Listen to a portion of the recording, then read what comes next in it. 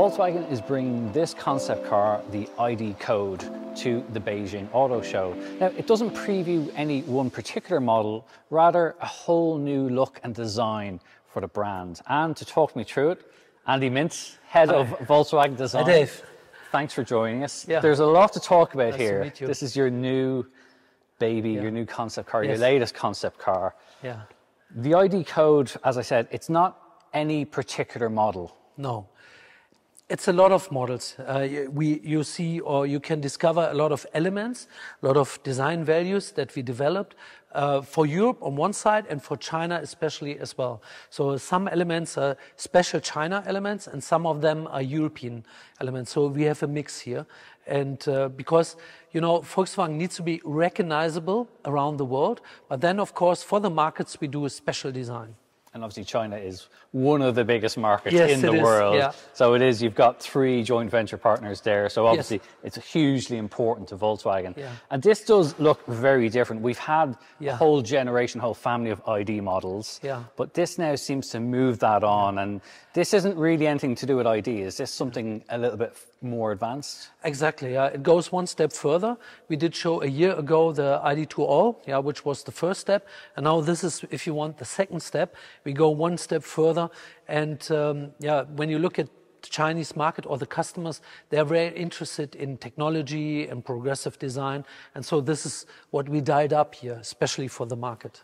And there is a lot of technology in this Yes, car. This yeah. is really going to preview Yeah. the future. There's talk of all sorts of level four autonomous driving and things like that. So there's a lot of different features here. But maybe we can talk through. We'll start kind of around the front Yeah. here, and then maybe we'll go Yeah. around the car. So obviously, the first thing I notice is a mm-hmm. these all these lighting here, but Yeah. it's a very kind of Yeah. it's not. There's no sharp edges. No sharp lines. This isn't a harsh design. Yeah, no, it's not. It's it's a friendly design because we are Volkswagen. Yeah, we are the nice guys. Yeah, this is our super duper is being nice. So it is not attacking anybody. It's not aggressive, but it is ambitious. You know, and when you look at the bonnet, for instance, you have one sharp line here connecting the bonnet with the side panel, but at the same time, the bonnet itself is lower. Yeah, and then the fender is higher, and that's very entertaining when you drive the car. Yeah, you see the outside you, body you can panels. really see. You can imagine Exactly. sitting inside, seeing Yeah. the tops of those wheel Yeah. arches, Yeah. and the wheel arches themselves are they really do stand out in this car, both in the width, but also Yeah. this line here, this crease. Yeah. This is something that you really wanted to Exactly. put into the car, into the design. Yes, th- this is something that we want to use globally as well to say we have a uh, pronounced track. Yeah, so we, we, we make a slim body, we move all the um, uh, volume inside the car, and then pull the track out of it, and emphasize the wheel arches, emphasize the tires, and then you have a very powerful car. We say in Europe stable, yeah, but the name in China is vigorous, and this is like a powerful and strong. That's the stance of the car. That's a basic proportion. And I think that works really well, let's I say. mean, you've got a huge 24-inch wheels Yes, on this so co- that helps a lot. they are enormous. I know. You're I know right, You yeah. car designers love big wheels, but 24-inch wheels. Yes. But there are some elements in these wheel designs Yes. which Yeah. you can see it runs Yeah. through both from the Yeah. front here with these Yeah. these kind of grooves. Yeah. So there It's a- is form and function at play here. Exactly, yeah. We, we put the, all the patterns that we have around the car have the same shape, yeah, to make it match, uh, because then it's not a mix of patterns. But the reason is here we have a, a lightweight structure for the basic wheel, and then we are adding these panels here to make it aerodynamic at the same time. That's what you want from a wheel. So the- Should be light. These yeah. little inserts are going to add a few more kilometers to your range. And kind of Exactly, yeah, stuff. because The, the outside matters more uh, on a wheel design, and that is doing, um, yeah, improving the mileage. And obviously, when we see the car kind of in side profile, Yeah. We get a, a, a sense of the scale. So it's just under five meters, this Yes. car. So it is, Yeah. you know, it, it's a big car. Yeah. Um, but the way you've treated the side, then you've got a very deep cut in here. You've got that kind of pattern as well. Yeah. Obviously, you've got rear Yeah. hinge doors as Yes. well. Yeah. But it's a very, I don't want to call it a coupe like profile, but Yeah. It's, it's definitely sportier, but then you see these huge rear haunches. Yeah. Exactly, yeah. Just like the front wheel, we have the same design for the rear as well to make it match, and it gives this power in the rear as well.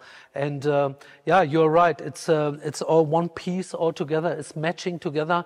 And the the rear end, I would not name it CUV, and I would not name it. Would rather name it SUV. You know, because it has a lot of space inside, but there is a very let's say aerodynamic rear end. Uh, it's uh, the Kammback. Yeah, is is the professional name for yes, that. Yeah, yes, yeah. maybe you remember yes. this. But that is uh, our version of that, and that could build uh, its own character. One of the features I really like is this C yeah. pillar as well. It really gives it that kind of sporty look towards the air. You know, the way the roof gently slopes all the way down, and mm-hmm. obviously it means you've still got plenty of room inside. But around the back, yeah. you've got, I guess, a further interpretation of these kind of coast to coast lights, these light bars that we exactly, see. Yeah. But it wraps right away around here. yeah. Well, what we want to give it is character as well. You know, coast to coast is interrupted in the middle for the VW badge, mm-hmm. and then we have uh, body paint all around. You know, to make it really clean and and sober. You know that everything looks looks very clean and and updated. Yeah, that that is the look. But at the same time, you you read the rear haunches from the rear. When you stand back, you can see both of them in one perspective. Yeah, so that is the, the stance. When, yeah. Right from when you look at the car, right from the back, you can really see yeah. these kind of curves. How Yes. how it comes out and really kind of gives it that, that kind of you know, those haunches, that kind of planted yeah. feel. Yeah. When you walk around the car, you see it in the rear and in the front, and it matches together. Yeah. Is there any one aspect of this car that maybe I don't want to ask you, it's like asking what your favorite child is, but is Yeah. there any one aspect of the design that you really love or you really like that stands out? Yeah, I mean the the proportion I like a lot. Yeah. Yeah, it's um, you know we have a really strong chassis from SUV, proper wheels, a lot of energy in the sill, and then we have a very very sleek and slim. Um, head on top of that, yeah. So that is really slim and aerodynamic and and really elegant if you want. But the bottom is the opposite, yeah. And that combination could be really interesting for the customer because you, as a result, you have a very elegant car, but at the same time. Um, you have a lot of uh, range, yeah, because you, you combine things that are usually a contradiction. But here it makes a lot of sense, I believe. I do like as well that it is, I know it's a concept car, but Yeah. you mentioned that there are aspects of this that this isn't some flight of fancy thing. This is, Yeah. although it doesn't preview any one model, Yeah. this is something that we're going to start to see ingredients of in Exactly. future models. Yeah. Th- that is our aim here. Yeah, what we show here, you will see, discover in all the future portfolio, if you want. It's going to be everywhere, and uh, we we want to catch some feedback here. We we want to show it to the public to see whether it's successful then in the future, yes or You no. want, so you want feedback. So everyone watching this video, we Yes. want to, we want to know what you think. Andy needs to know Yeah, what you think about Yeah. this. I will read all the comments. I promise. Okay, but, but there's a lot of other features in this car as well, including some really amazing stuff inside. One feature that you will not expect this to have, and a lot of technology, including level four. So let's go have a look at that. Now, lighting is very important, as we mentioned a little bit earlier in the video. And joining me is Kuku, who is the UX designer. So you have a bit of an insight. You're going to show us through how this car, how the lights will work, but more so how it interacts with people and, and how it interacts with its owners. So maybe we can go through and experience exactly what this thing is capable of. Exactly. Um, actually, we have uh, the idea to uh, greeting our customers um, with four season animation. Um, I will show the one of them to have a, to give a feeling. So when you come out to your car in the morning, this will, as you're walking up to it, this will sort of give you a, a kind of a good morning welcome.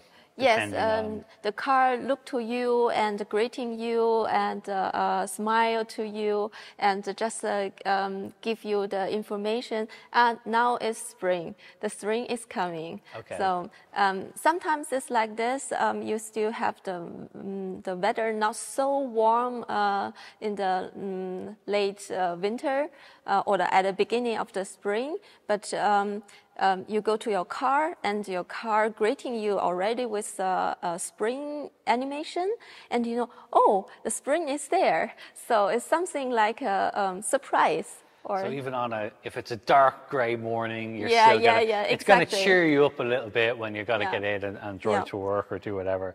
Lighting is obviously about function, but it's also increasingly about form. Yes. And you talked about how the car can use light to communicate with its owners, but also this is going to be equipped with level four autonomous driving and it needs to communicate with other drivers. How does the ID code do that? I will show you it first. So, and uh, exactly, uh, the idea is uh, we want to really give the uh, other um, drivers um, a safety feeling that uh, the car is smart and the car recognizes them. So it's really a safety feeling. So they'll be able to see, we have this kind of uh, turquoise color here on, on, on the radar. We can see it up top here, but it's actually everywhere. Well, it's kind of all throughout the whole car. So I guess any angle that somebody on the road sees, when they see this color, that means Sure. that the car knows they're there, the car is driving, and they don't have to worry about it, right? Sure, and you will see um, not only on the front, it's also in the rear. We have this is also in the lighting, this 3D lighting to uh, both uh, really uh, move dynamic. So um, you you will recognize this directly that the car is now in the autonomous driving mode. Uh, and obviously that is also a it makes it very visible but these aren't just lights. These are obviously, obviously highlighting all the mm-hmm. different sensors and arrays and all the technology that it needs. That's pretty impressive but there's one other feature that this has which is an avatar a built-in avatar. So it's mm-hmm. taking the idea of an assistant but moving it on a step further. How does that look? How does that work? I'll show you this now. 看向您，今天天气很棒，紫外线有点强，请记得防晒。So the idea is that if you're close to your car and the um, avatar pops up and greeting you directly with uh, some important information, um, she will remind you, for example, um, today's weather is uh, really great and uh, don't forget the sunscreen if you are hanging out, something like that, or some um, information about uh, battery or uh, uh, uh, just a small checklist uh, that you um, uh, you you pre-set it uh, in the last night uh, in your phone. So it's like having a proper assistant, a little Yes. reminder not to forget something Yeah. or make sure something reminds you that you need to pick something up on the way. So um, the, the avatar will uh, greeting you really friendly, and um, um, she doesn't need to give too much information. Uh, she prepared a car for you. Uh, just open the door after the greeting and the reminder, and you can get into the car, and everything is prepared. So it's like having a proper assistant just to remind you Yes. that most important thing that you don't forget something. Exactly. That's that's uh, that's a whole other level of, of Mm-hmm. assistance. That's pretty interesting. That's the outside, but there's a lot to talk about on the inside. Now I can't open the inside of the car to show you what it's like because it's still just a concept car. But I do have Jan, who's the interior designer, to talk a little bit about what it's like on the inside, and we'll show you a couple of different pictures and things like that as we talk about. So we ran through this a little bit earlier. This has a pretty lounge-like interior, the materials that it has, the seats. What's the kind of overall concept and the approach that you took in designing it? So for the car, we have a two plus two interior. We have two seats in the front row, two seats in the back row. Uh, in level four mode, you can turn the front seats so that you can have a face-to-face situation in the car to have a little uh, conversation and uh, like a like a quality time together. Uh, but the coolest feature is when when you're done after eating and stuff, and when everybody's gone, then there comes our little Lupo, our little cleaning robot, and he cleans up the whole mess which you left and your kids. So This, I think this is the most amazing feature I've seen in a concept car. So this is what I was talking about earlier, the feature that you never expect. this car has its own vacuum cleaner built in that works itself when you get out of it. with its own garage in place and stuff. But we also have uh, normally uh, the, the usual function in the car. We have the, the light, which you've seen in the exterior. Um, we have it prominently in the in the roof of the car, so you can have the same effects which you have with the uh, with the ex- exterior light. You can have on the inside. So you can have different moods. You can uh, um, push the st- steering, um, center consoles around uh, so that you can generate different scenarios for you. And uh, the steering wheel collapses away so that you can generate more space. Yes, yeah. Obviously, if you have it in your autonomous driving mode, you don't need the steering wheel, and it's this kind of yoke steering wheel. It just slips away into the Yes. dashboard, and obviously you've still got so, uh, you know a lot of displays happening as well. So you have these kind of portrait style display for both front and rear, but then you have this very gorgeous design that wraps all the way around. Yeah, we have a digital decor, we call it. Um, it's kind of meant to be uh, shy tech, like uh, hidden in the in the front, but it's also like high tech, of course. And uh, we, we managed to find out the, the compromise between TikTok and YouTube. So you have for the TikTok, you have in the vertical uh, area, and YouTube you can watch on the horizontal area on the front. Zero compromise for your Zero. social media. Not at all. But al- also, which is like a, a good uh, Chinese approach or a Chinese demand, is um, people in China really like to uh, use voice control. So you can uh, control everything by voice control, and you get the assistance of the avatar inside as well, of course. It's a pretty interesting concept inside. It looks fantastic. It looks like the sort of thing I'd want to spend hours sitting in as well. The seats look super, super comfy, a lot of space inside. It's going to be very interesting to see how much of this we start to see in future models, but hopefully we will see a little bit more of that. Let's see. So that's our first look through this pretty interesting Volkswagen ID code concept car. Who knows whether we'll see something like this in the future or indeed how soon we'll see it. If you want to know more about it, head over to our website. It's completecar.ie and it's linked in the description below. It's a great resource for finding your next new car and keeping up to date with the latest car news. We'd also love to know what you think about it, so do get involved in the comments below. We really do enjoy reading all your feedback. In the meantime, thanks for watching and don't forget to subscribe to the channel.